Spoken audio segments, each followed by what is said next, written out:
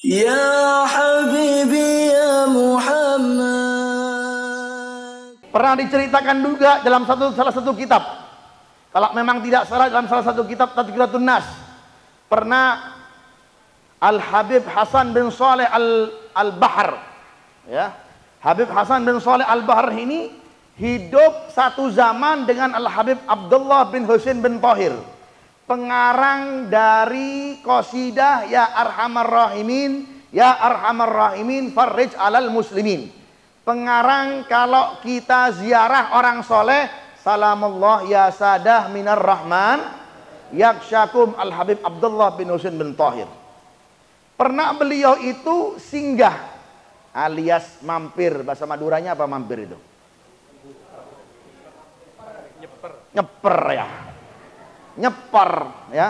Mampir, nyonggo mampir. Mampir ke rumahnya siapa? Al Habib Abdullah bin Husain bin Tahir. Ya, ini ulama mampir ke rumahnya ke rumahnya ulama. Ulama masih butuh berkah. Akhir zaman ulama-ulama sekarang nggak butuh berkah lagi. Sudah merasa apa? Ulama nggak usah berkah lagi. Ini ulama yang ya Allah perlu dikasihani seperti ini. Kalau orang-orang soleh dulu tidak. Bahkan guru mulia kita pun Al Habib Umar bin Muhammad bin Salim bin Hafid selalu mengajarkan kita. Bahkan ketika akhir-akhir ketika, saya pulang itu diajak oleh beliau, diantarkan oleh beliau sendiri. Karena saya waktu itu pernah khidmah lama di, di rumahnya beliau Al Habib Umar itu diantarkan sendiri oleh beliau ke rumahnya Habaib. Habaib nih Habib doakan ya. Ini anak murid saya ini namanya Fulan namanya Idrus ini ini mau pulang doakan. Di, diantarkan sendiri oleh beliau. Ulama ziarah ke ulama. Ini penting karena di akhir zaman ini banyak ulama yang silaturahminya ke pejabat nah udah bilang dalik ulama silaturahminya ke mana ke orang-orang kaya. Ya, betul apa tidak?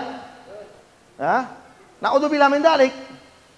Boleh saja silaturahmi, tapi lebih supaya lebih mulia, lebih supaya apa namanya ini masyarakat, supaya adem ayem, supaya kita ini tidak dilihat pecah adalah salah satu kewajiban seorang ulama menziarahi ulama yang lain. Al-habaib ketemu dengan habaib yang lain. Seperti di dalam majelis ini. Bentuk silaturahmi. Kita nggak nggak bisa sempat ketemu. Ustaz Asrori sibuk dengan ngajarnya. Laura Ismail juga sibuk dengan ngajarnya. Pompong di event seperti ini alangkah afdolnya juga kita mendengarkan daripada ilmu-ilmu mereka. Juga bagian dari apa? At-tazawur di antara kita semuanya supaya kita mendapat keberkahan dari mereka-mereka semuanya amin ya rabbal Al Habib Hasan bin Saleh Al Bahar datang ke rumahnya Al Habib Abdullah bin Husain bin Tahir.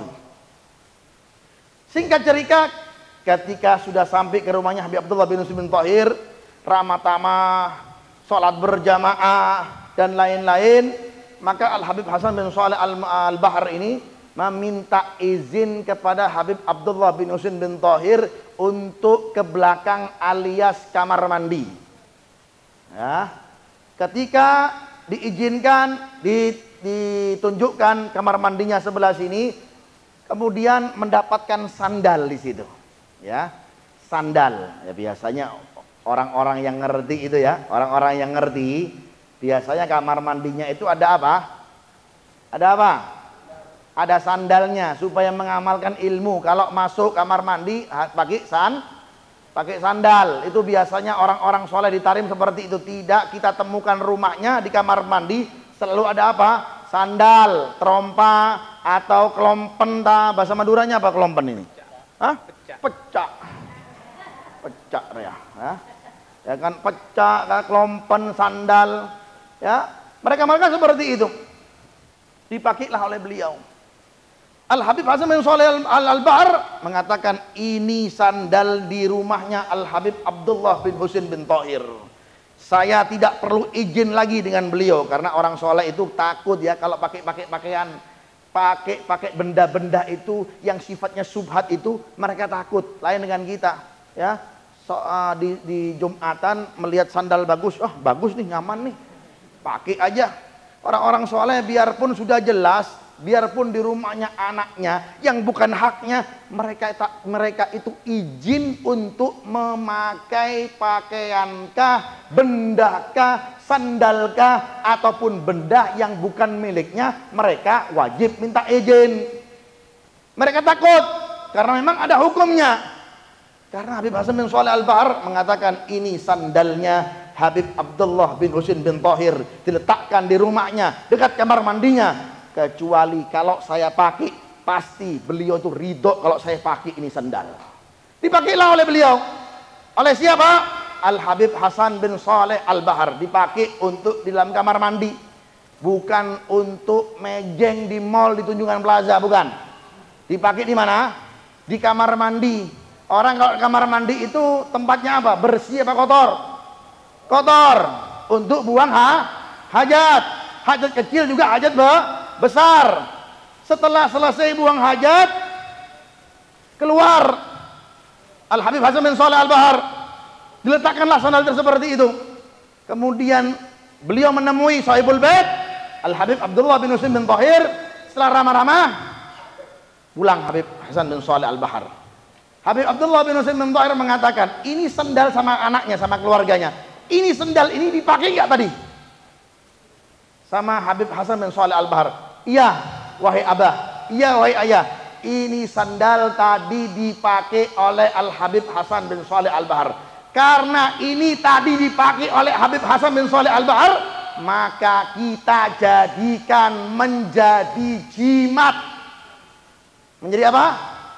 jimat sehingga diambil itu sendal tanpa dibilas diciumi diletakkan di kotak yang terhormat di bungkusan kotak yang terhormat ditaruh di atas lemarinya. Radhiyallahu taala anhum wa mudah-mudahan kita dapat berkahnya mereka. Amin ya rabbal. Itu masih mereka saling mengambil berkah sendal. Belum lagi yang lain.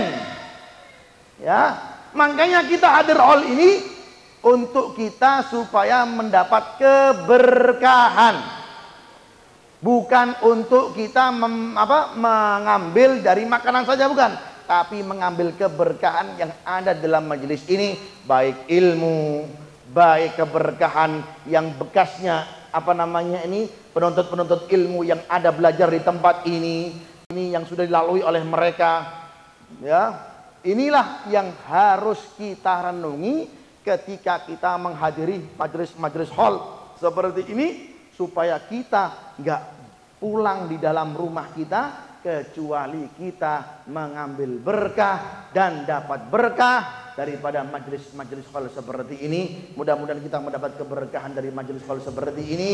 Mudah-mudahan kita nggak pulang dari majelis ini kecuali kita mendapat keberkahan yang sempurna. Amin, amin ya rabbal alamin.